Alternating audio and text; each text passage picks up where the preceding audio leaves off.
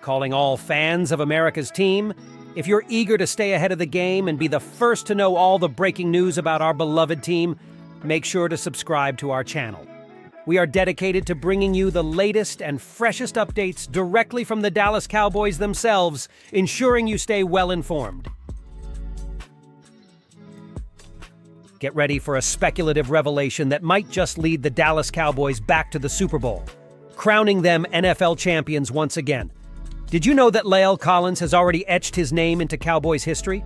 His remarkable journey began right here, and now there are fervent rumors circulating that he could be on the verge of making a return to the Cowboys family. That's right. The star whose brilliance shone brightly at the start of his career in Dallas might be gearing up for a comeback.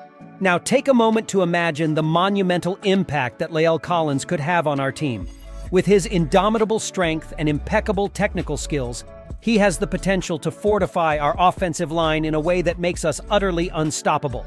Collins's precision blocking would create avenues for our offense, granting Dak Prescott more time for those precise passes and Ezekiel Elliott more room for his awe-inspiring runs. Let's not forget that the last time we had Collins anchoring our offensive line, we came agonizingly close to seizing the Super Bowl.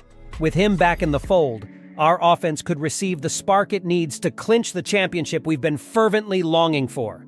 So, Cowboys fans, just envision it. La'el Collins back on our offensive line, a path to the Super Bowl clearer than ever before.